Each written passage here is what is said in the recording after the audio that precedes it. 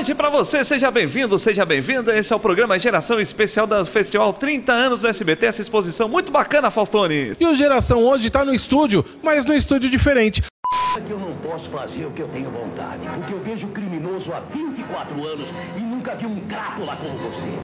Bom, E agora você vai acompanhar a evolução dos logos do SBT, TVS, os microfones, as canoplas. Vejam, come on here now!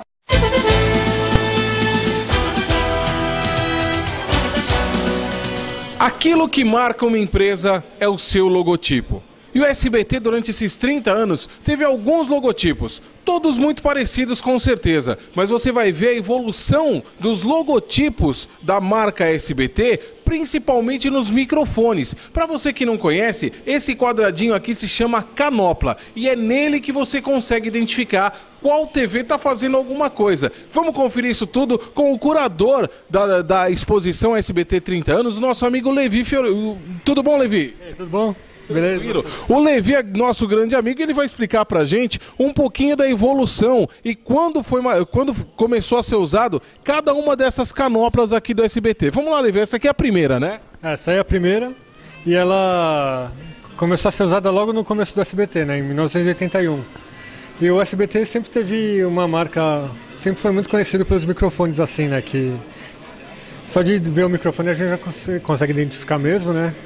E desde o início esse microfone que foi usado até 85 e começou a ser usado nos programas de auditório.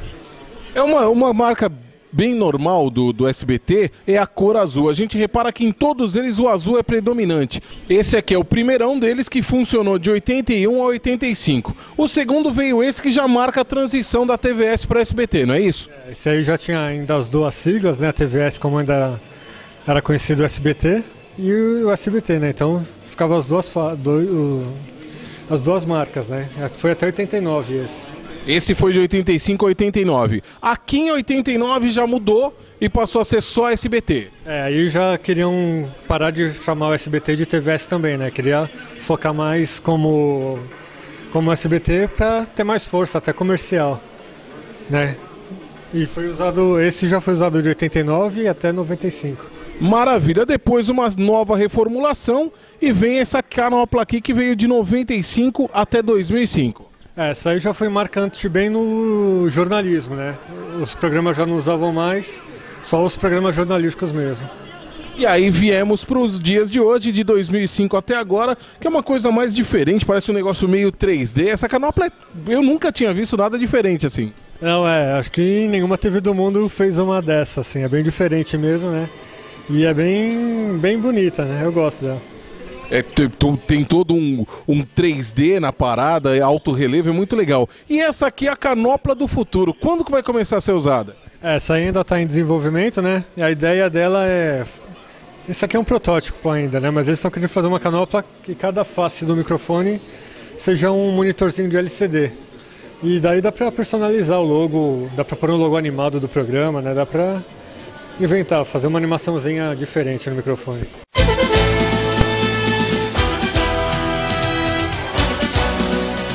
Nesses 30 anos de SBT, um dos programas que com certeza todo mundo lembra com muito carinho é um programa que deu alguns prêmios milionários. Você respondia uma pergunta e concorria a um milhão de reais. Claro, estamos falando do Show do Milhão e você acompanha agora aqui no Geração. Um milhão de reais. Imagina esse dinheiro na sua conta. Jogo do Milhão foi o primeiro nome, no ano de 99. Não foi isso, Levi? Começou em 99 esse estouro da TV brasileira. É, começou em 99 já com suspense, né? Que durante um tempo antes o SBT anunciava, né? Os 22 dias estão chegando. Ninguém sabia o que ia ser. Né? Todo mundo, pô, o que, que é? novidade será, né? Daí foi o, show- o jogo do milhão. Na verdade, o Show do Milhão foi o primeiro milhão da TV brasileira? Foi o primeiro mesmo assim? Ou, ou teve outro milhão que foi dado antes? Não, antes tinha saído o primeiro milhão do SBT que foi no Gol Show. Né? Foi dentro do Teleton. Daí fizeram uma edição do Gol Show e saiu um milhão de reais. Ai, ai, ai. Bateu, gol! Não acredito! Ele. Não, foi. O gol era aquela micro cestinha. Eu não acredito. É muita sorte. Olha isso! Foi, era, era pra ser seu, Eliseu. Esse milhão era todo seu. E tinha polêmica também no programa. Parece que teve uma pergunta aí que o cara falou que estava errado, estava certo, depois viram que o cara estava errado. Teve alguma polêmica nesse programa, teve? É, teve algumas pessoas que já contestaram o programa, né? Até entraram na justiça, mas eu não sei muito bem. E tem também uns casos curiosos, né? Como um professor que estava na pergunta de um milhão, estava certo da resposta, acertou, é, respondeu, só que errou. Quantas letras contém escrita da bandeira nacional brasileira? 13, 15, 14 ou 16? Pode falar? Eu respondo. Pode falar? 16 16? letras, sim. 16 letras. Valendo um milhão de reais, qual é a resposta? 15 letras seria a resposta. Você perdeu. Desde o começo dos tempos, desde que o homem é homem, e veio aquela história da maçã, da, da, da Eva, do Adão, o homem tem que colocar uma roupa para poder sair na rua. E por falar em roupa, o nosso amigo Hamilton tá muito elegante. Vamos falar um pouquinho dos figurinos. Aqui na exposição do SBT 30 anos, tem alguns, alguns figurinos clássicos que estão passando aqui, estão rodando. Um deles que é muito legal é esse aqui. Ó que bacana. É uma das roupas da novela Chiquititas, não é isso, Hamilton? Boa noite. Boa noite, Fausto. É, Exatamente. Aqui o, a exposição ela destaca uns figurinos originais que o SBT utilizou em novelas e nos programas, né? Então, por exemplo, aqui tem um figurino que foi usado pela Irene Havashi na novela Éramos Seis. E esse aqui que é o, o que você vai gostar também, que é da novela Carrossel, né? Acho- Original mexicano é esse. e, e pelo tamanho, eu acho que deve ser da, da Laura, né? Que é meio gordinha, né? Essa roupa é meio gordinha. Tem mais, tem mais. A roupa da Chiquitita já passou a roupa da Irene Havashi. Ah, O figurino ele é extremamente importante, não só para um programa ou também para uma novela, porque ele vai te remeter exatamente à época que o programa quer te passar. Como, por exemplo, esse aqui. Ó que elegância. Esse aqui é da Dercy Gonçalves, não é isso? É, a Dercy ela sempre usou umas roupas meio de luxo, então, e naquele programa que ela tinha, que era o Fala Dercy. Então, e, e aqui nós temos um, um que é o super clássico, que o Rick vai chorou quando viu. né? Chorou quando viu a roupa do Bozo. É, vai passar daqui a pouco de novo, né? E aqui tem a roupa da Maísa também, que é nesse estilo clássico de, de criança aí dos anos 30, que o SBT usa até hoje.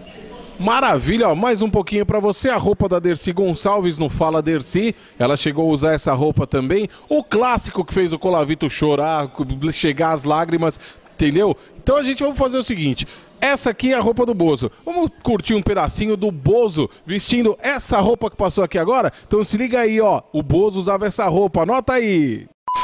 Já estamos de volta com muita alegria pela TV SBT, que faz TV pensando em... Uma sessão muito especial aqui do SBT 30 anos, dessa super exposição, é a exposição de figurinos dos personagens da Praça Nossa. Só de olhar você já sabe qual personagem que é. E o nosso amigo Hamilton vai falar um pouquinho mais de cada um desses personagens. É, é, essa, essa sessão aqui ela tem três personagens clássicos da Praça é Nossa, que são os que você vai ver agora.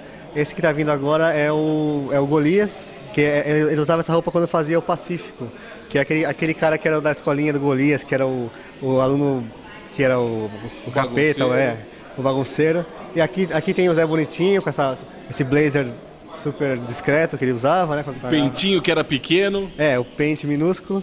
E aqui é o figurino da velha surda, né? Aquela, aquele casaco velho. Deve tirar naftalina essa roupa, deve ser uma coisa, né?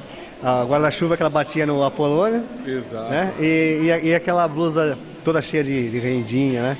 Que a velha surda usava. Então, aqui são três figurinos de humor, dos programas de humor do SBT, que, que termina essa parte de figurinos da exposição. Tá certo, então vamos fazer o seguinte, já que a gente falou de Velha Surda, falou do Pacífico e também falou do Zé Bonitinho, vamos assistir um pedacinho de cada um deles? Se liga aí, esse é o Geração. A mãe que eu vi, a ovelha namorando com o cabrito, viu?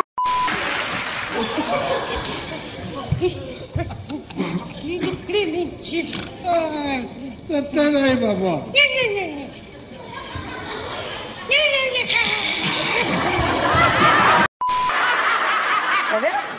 Garota, mulher para mim é igual a toalha, tem que ser bem apertada. Uma das coisas muito importantes num programa de TV são os objetos de cena. Coisas que às vezes você nem percebe que estão lá. Mas sem elas, com certeza o programa não teria tanta graça. E alguns desses objetos que são marcantes para a TV brasileira e principalmente para o SBT, você confere agora nessa super matéria.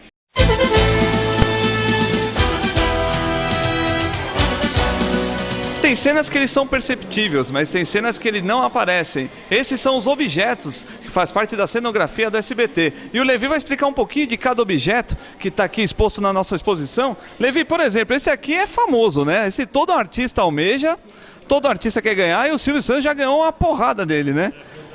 Explica um pouquinho, esse é o troféu imprensa, é isso? É, esse é o troféu imprensa, né? Considerado, considerado o Oscar da TV brasileira. É que é uma premiação anual que existe desde 52, se não me engano, 56.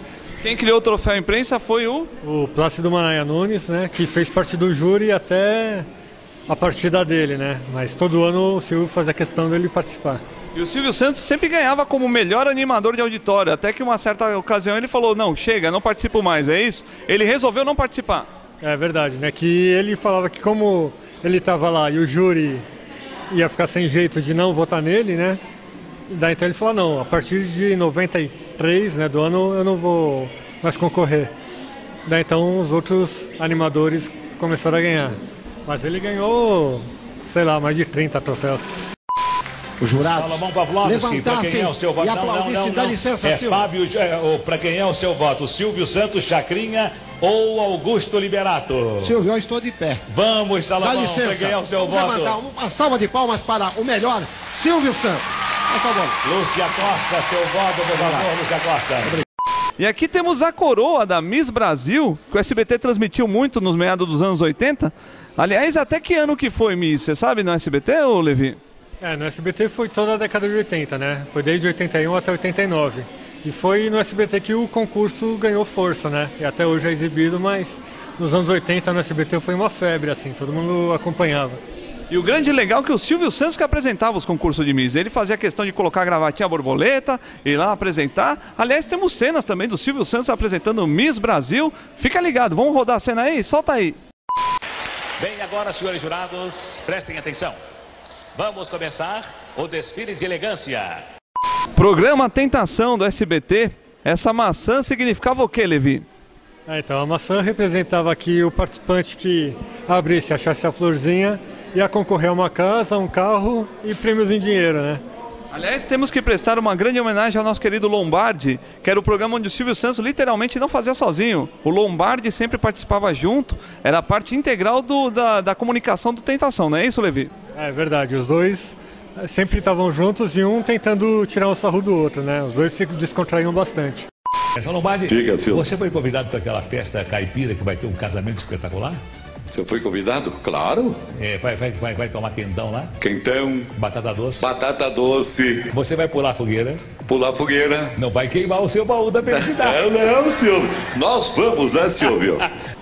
Continuando a sessão objetos aqui no programa Geração, temos a peruca do palhaço Bozo, que é o palhaço que fez a alegria da criançada dos anos 80, né, Levi? É verdade, né? Quem não assistiu a Bozo nos anos 80, né?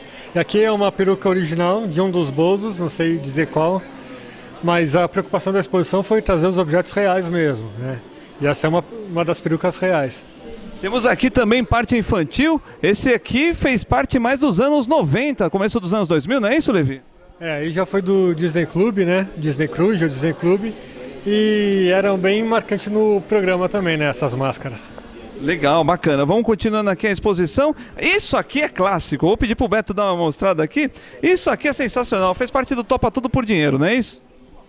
É, isso aí era parte de uma brincadeira do Topa Tudo, né? Que era a brincadeira da cobrinha. E a ideia era. São quatro gavetinhas, né? E quem abrisse a gavetinha e saísse uma bolinha ganhava um prêmio em dinheiro. A Maria é da, da Granja, Granja Espinosa, é isso mesmo. É da Rua Colonial 1, Casa 6, do bairro do Gramadinho. Maria é aquela senhora que tem oito filhos. Chega de pagar aluguel, hein? Se você queria ganhar sua casa própria, era só você comprar o carnê de mercadoria do baú, pagar tudo em dia e vir para o palco rodar o peão.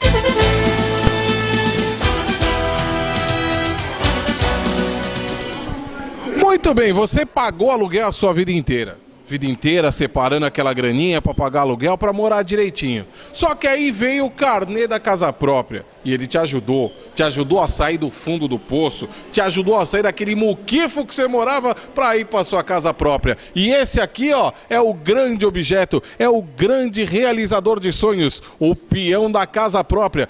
Vê esse cidadão que está aqui ao meu lado?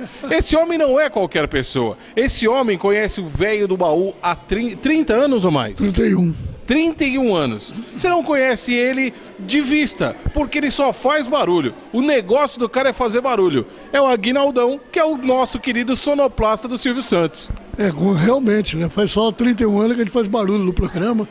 31 anos. E como é que você conheceu? Eu comecei cedo, né, cara? Comecei Não, cedo. Você é menino. É, eu era criança. Menino, eu tinha uns menino. 10, 12 anos. Pronto. Ah, eu, conheci- eu comecei com o Silvio no programa de rádio, lá na Rádio Record, em 1980. Você já Cê- trabalhava lá na Record? Não, não, não, não, não em rádio, não. Eu trabalhava na TV Record. Aí me indicaram pro Silvio, pra Rádio Record. Aí eu fui trabalhar com ele na rádio e em 87 eu vim pra televisão. Já veio pra televisão. Deixa eu perguntar uma coisa. Tem algumas, algumas coisas que o Silvio pede pra você. Como é que você sabe que ele vai pedir aquilo ou já tá tudo programado? Não, não, o Silvio não programa nada. O Silvio é um cara. É que nem ele mesmo fala, ele é animador, ele não é ator. Então ele cria. É que como eu estou muito tempo com ele, eu, eu já acostumei a acompanhar o papo dele. Uhum. Ele está conversando com uma pessoa e eu vou acompanhando eu já tenho quase o final de Já cabeça. sabe como é que vai já acontecer. vou- O que vai acontecer no final. E esse- Mas o Silvio é fácil trabalhar com ele, né? Ah, deve ser um barato. Agora eu quero saber o seguinte: esse peão. Esse peão ele tem a música que é clássica.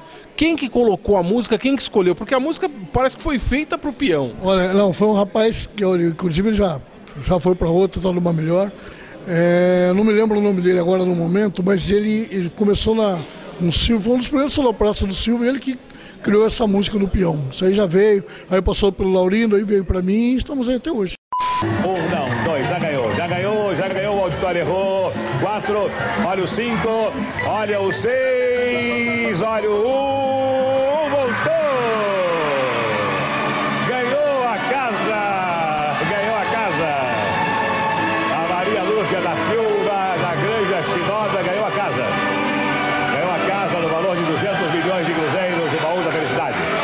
então você curtiu um momento super especial do peão. Ô, Aguinaldo, eu queria te perguntar uma coisa. Qual foi o momento mais emocionante que você, que você acompanhou todos os peões? Você lembra de algum que você falou assim, puxa, que legal, tô feliz que a pessoa ganhou? Olha, por incrível que pareça, foi um que eu, o Silvio, acho que o auditório todo torceu, uma véspera de Natal, cara. Era um. Só uma pessoa, cara, porque você já sabe, pela aparência, sabia que realmente estava precisando da casa. E o cara ganhou, foi assim, um dia 23 de dezembro, inclusive. Que aí. isso aí emocionou todo mundo. Foi uma das partes que eu nunca esqueço. Foi esse cara que ganhou na véspera de Natal. Viu que bacana? Esse é o Aguinaldo, sonoplasta do, Silvio, do Silvio Santos. Trabalha com ele há 31 anos. E agora a gente vai ter que pedir pra você rodar o peão. Aguinaldão, é com você. Roda o peão! Geração, os anos 80, passado a limpo. Muito bem, eu tenho certeza que você que está aí do outro lado, você sempre curtiu o programa infantil. Quando você era menorzinho, quando você foi ficando um pouquinho maior. E o programa infantil, ele sempre teve evoluções. Ele começou com um palhaço, depois teve crianças apresentando um monte de coisa bacana. E o SBT sempre trouxe programas infantis que marcaram a história da televisão. E a gente confere tudo isso agora, no Geração Aqui Agora. Ó.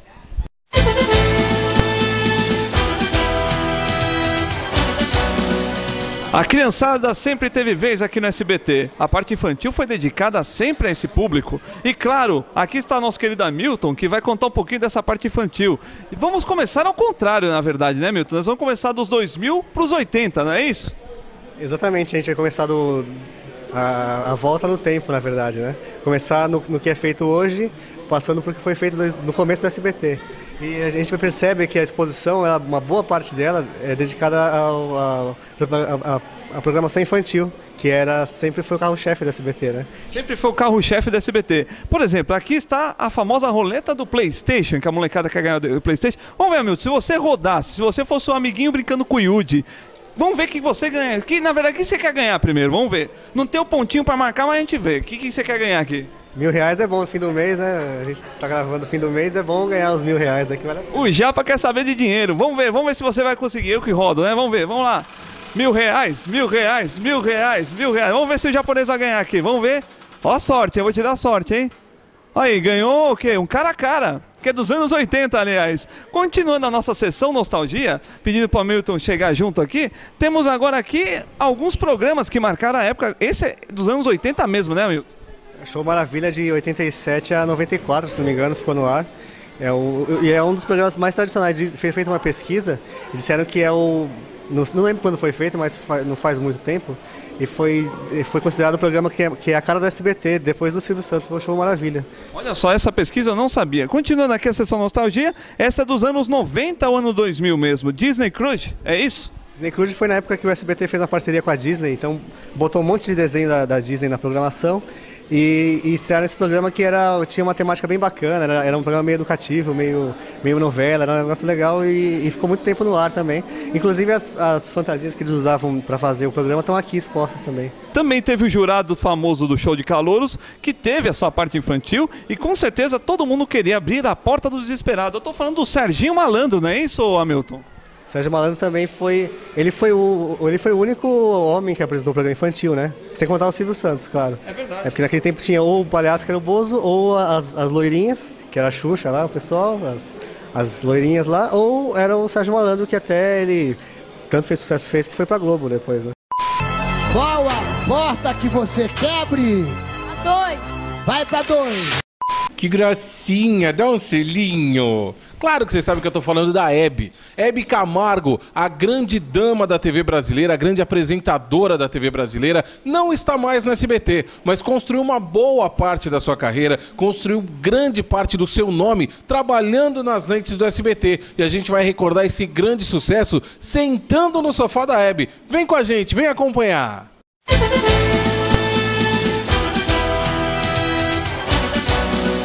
Com vocês, Hebe Camargo, a rainha da TV brasileira. É assim que o Silvio Santos sempre anunciava a Hebe, companheira, apesar de não estar mais no SBT, tem uma marca muito grande na emissora, né, Hamilton?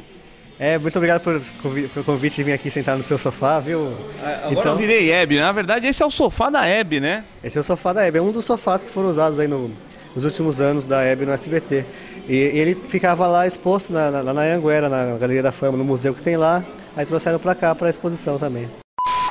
Desde março de 1986, estou nessa casa. Isso, isso, isso, isso. Tô falando do Chaves agora e o Chapolin Colorado, os mexicanos que invadiram o Brasil e deram super audiência no SBT e continua repetindo as histórias e continua todo mundo gargalhando até hoje. A gente vai dar uma olhada na Vila do Chaves, vamos relembrar um pouquinho desse personagem. Vem com a gente no programa Geração aqui, agora.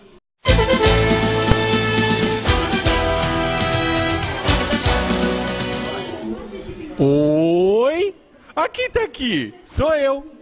Então, eu tô aqui pra falar do seriado que a- desde que o SBT é SBT já existe e faz sucesso. É o seriado Chaves. Estamos aqui de dentro do barril pra falar com o Levi. Levi, 30 anos praticamente de sucesso do Chaves, né? Ah, é, o Chaves realmente é é um filho do SBT, né? O Silvio adora esse menino, né? E sempre que precisa dar uma melhora na audiência, o Chaves, apesar de repetitivo, de episódios gastos, né? Qualidade não tão boa, o Chaves sempre consegue levantar muito a audiência do SBT. Quer dizer que o senhor também gosta de esporte, senhor Barreto? Claro que sim. Passei todos os anos de minha juventude em um campo. Como bola? Como jogador. E não é por me gabar, mas eu era um goleiro magnífico. Mas claro, o senhor tapava o gol inteiro, ué. A parceria sempre foi muito antiga. Manuel de Nóbrega e Silvio Santos sempre trabalharam juntos. Um ajudou muito o outro. E o Manuel de Nóbrega tinha um programa muito legal chamado A Praça da Alegria. O programa mudou de nome, passou de pai para filho e continua fazendo sucesso até hoje no SBT. E você vai conferir todo esse sucesso agora, aqui no Geração.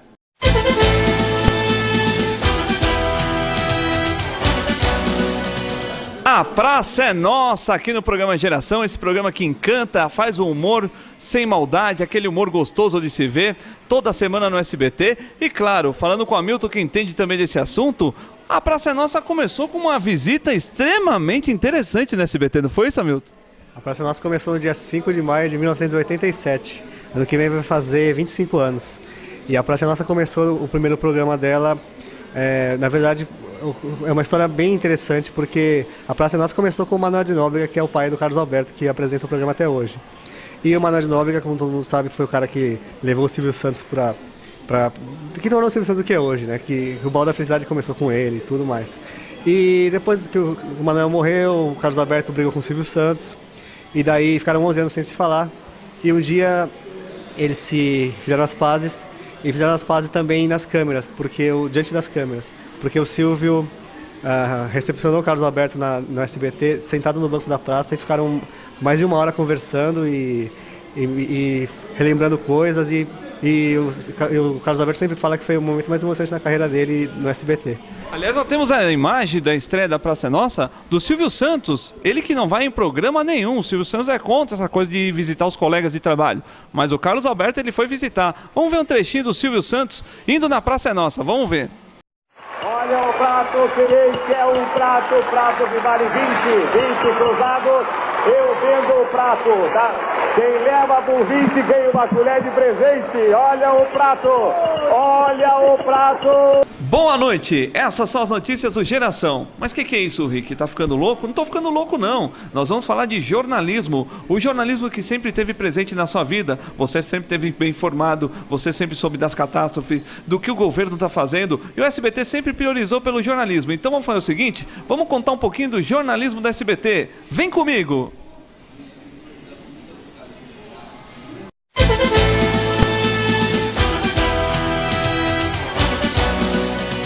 Pouquinho de telejornalismo do SBT. O nosso querido Levi vai contar um pouco essa história. Aliás, de todos os jornais do SBT. Aqui tem a, a galeria de fotos dos âncoras né, do SBT, que nós estamos mostrando ao fundo aí. Quero saber o seguinte: qual foi o telejornalismo que, na sua opinião, marcou o SBT mesmo?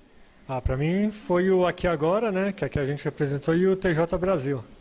Né, o TJ Brasil com Boris Casoy foi marcante porque o Boris podia opinar bem, né, dar opinião e onde ele também se tornou bastante conhecido pelo Isto é uma vergonha, né? Isto é uma vergonha. Isso é uma vergonha. E esse foi o Geração Especial 30 anos do SBT. Agradecendo o Levi Fiorucci, que é o curador dessa grande exposição, ele que é dono da página do Silvio Santos também. Boa noite para você. Boa noite, até lá. Bom dia.